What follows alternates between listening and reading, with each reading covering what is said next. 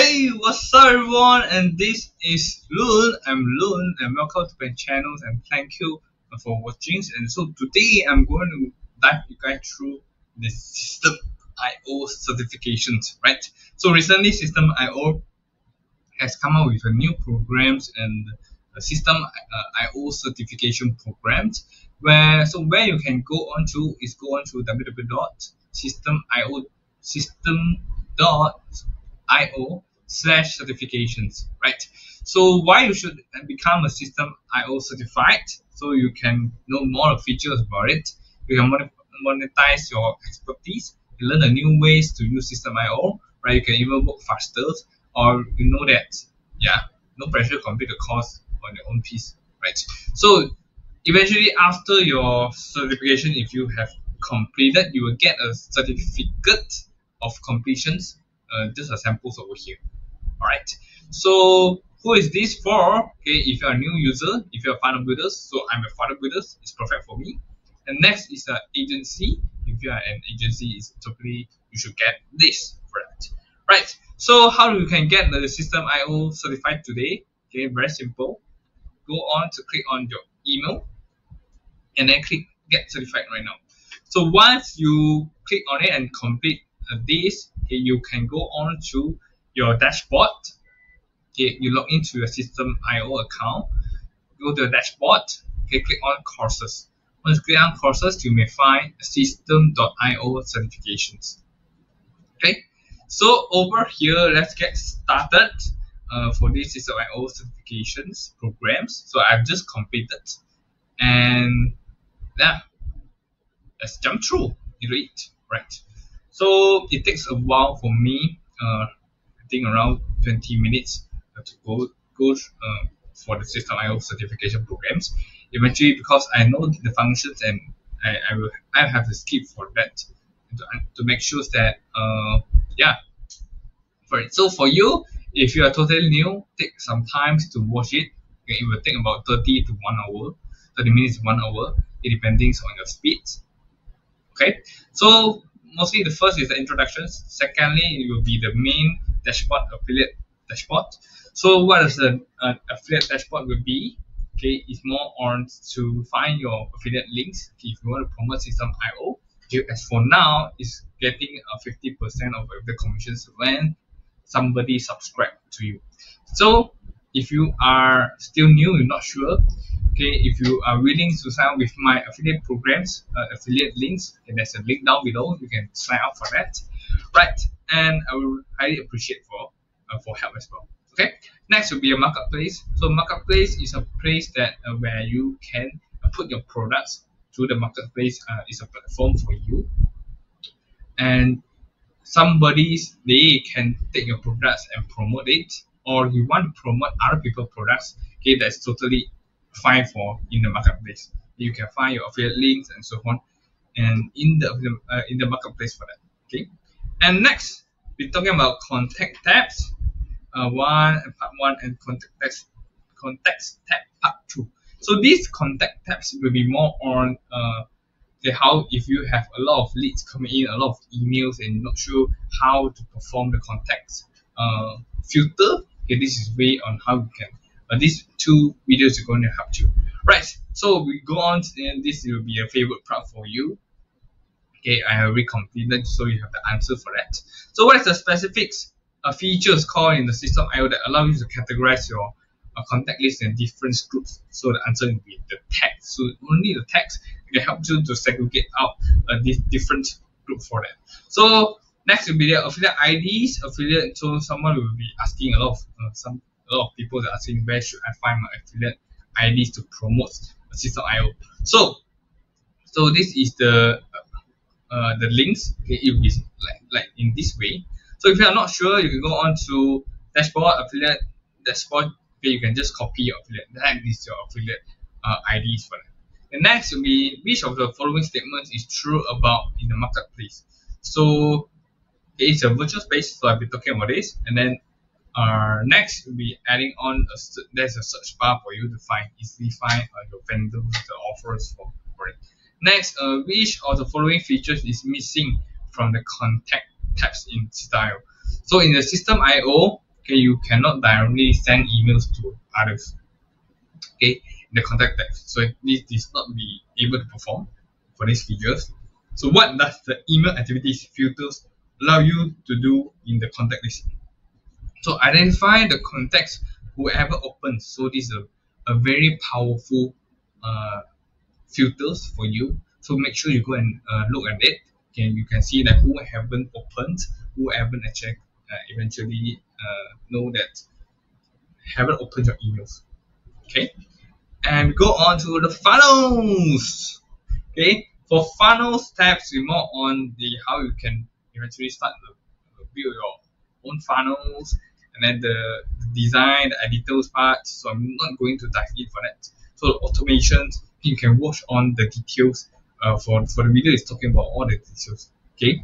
So automations uh, this video is talking about automation rules a-b testings uh, your leads a deadline of the funnels they all about the test uh, the work on that okay? And lastly for the order forms okay? This sales funnel we'll be talking about order forms the favorite parts and most people like it okay, because it's talking about money you want to sell products you want to okay how am i going to price uh, my uh, service? Uh, so that's the part that you can be pricing uh, in these uh, columns and where you're going to access for that. Okay? In these videos and lastly we talk about the upsell and downsell where you can upsell your products. Okay, it could be your opt-in offer the sales page. Next will be uh, leading someone to have get a bigger offer that you have. So this is the or order bumps okay if it's like a sweet and taste that people to take a small order bumps for that so you can be setting through in this video will teach you how. And lastly we go on evergreen webinar funnels. And this evergreen webinar funnels so system I you can be doing that. However i'm not really like the features uh, for system IO webinar. I hope that it can be improving in the future please for that so going to the lovely part of you, both of you guys love it. So this is the uh, quiz for that. So what's the purpose of the quiz page in the funnel? So okay to help you to collect and save leads. What are the blocks in the context and the buildings in the page system IO so pre-made elements to help you build your pages even you can get it quickly and done easily. So what's the difference between the simple blocks and the master block? Yeah simple blocks do not change across the all page. When edited well a master blocks it can be changed. Okay so what the purpose of this? I will A-B testing? So you, you will come on the two version of a pages. When people click on it okay, some of these traffic will go on to uh, this page. Uh, maybe another one when you click on it you will jump on to another page. So we take on testing on a different traffic when coming in. Eventually we will determine determine which one performs well or even better for them. So which page is typically used to present main offers? Okay. For sure it's a still speech. Okay there's buttons overhead there and you can put on it. So which payments options in orders allow customers to make a infinite recurring payments? So a full payment okay is a, for sure is a sub subscriptions. Yeah, it will be unlimited for subscriptions. Okay for the payment plans it will be like a, a year payment plan but it do have a subscription for the payment plans. But in these questions subscription is the answer so what's the purpose of available substitutes in the email editors? Okay is to help to provide personalized informations to the subscribers. Okay so once over you have hit over here you, probably you have hit the 50% of the course for that. So for block structures okay we're talking about structures one block part two okay i will straight away jump to the quiz that you guys love it for that so what is the purpose of the block layouts? Okay it's adding elements appear across all pages. So what the purpose of block listings? Is to display the latest post published on the blogs so what is the purpose of the categories? Features in this block is to help to organize into different topics or themes so with when you create the blocks with the categories okay in the sections for that so it helps you to uh, have a different topics it will help for that. So which page on the blogs allow visitors to send messages to the owners? That for sure is the contact page. For other page, it's not allowed because there is no uh, have um, two-way directions that I can put uh, contents and I could put my email address to it. Right. And next, okay, we go on automations. Okay, the first thing we'll talk about are the automation. It is how you're going to actually set your automations with the emails, attacks, and so on. Right, so make sure that when the things is triggers. So workflows will be uh, identify uh, how you can take actions for that. So I do have a videos for talking about automations uh, versus the workflow. So what's the differences for that? Okay, so if you're not unsure about in this video as well, you can watch my video to help you and guide you for it. So we jump on the quiz. Okay, this is a short quiz. Which triggers can be used to set automatic actions when a contact is complete and email is complete? So for sure campaign, after the campaign is complete, you will get a trigger. Okay, which triggers you should use if you want to send automatic actions when someone is click on the link on email. So for sure it's the email link when they click. So which options allow you to split the path on an actions in the in the workflow and an addition and a decisions you go on to split of it. Okay, either they choose this or they choose that. In the workflow examples, what is the purpose of adding a delay? So is to wait for another day.